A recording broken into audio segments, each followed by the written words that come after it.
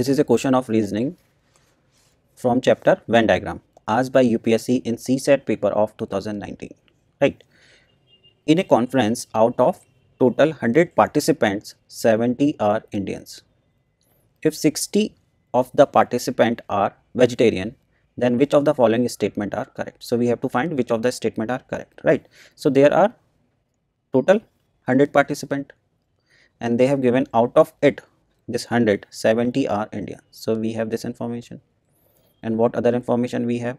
We have information like out of this 100 60 participant are vegetarian right? We have this information only.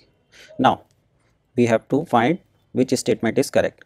At least 30 indian participant are vegetarian right? So we will draw a diagram of the Venn diagram of Indian and vegetarian. So Indians are total 70 right and the vegetarian are total 60.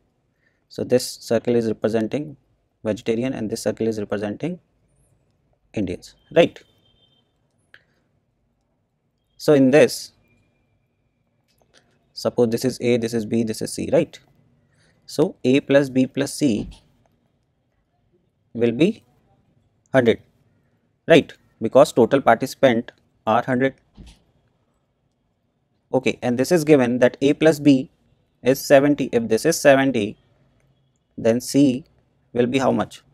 So c will be 30 right.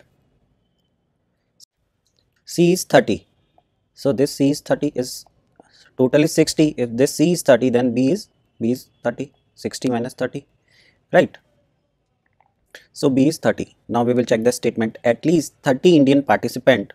So this b is representing indian participant who are vegetarian. So this is 30 so this is correct right? Now the second statement. At least 10 indian participant are non-vegetarian. Now we have to find a relationship between indian and non-vegetarian. So non-vegetarian are how much?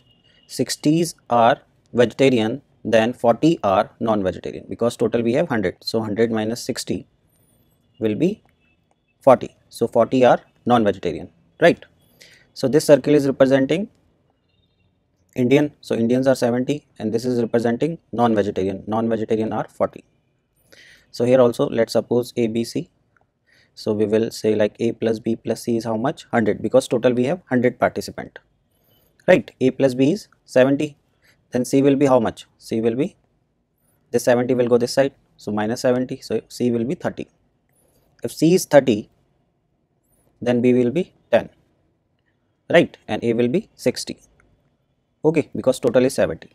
So there are 10 Indian participant who are non-vegetarian because this 10 is representing is the common part right. So it is showing it is representing the number of person who are Indian and non-vegetarian. So this statement is also correct. So the answer would be C. Both A and B are correct, right?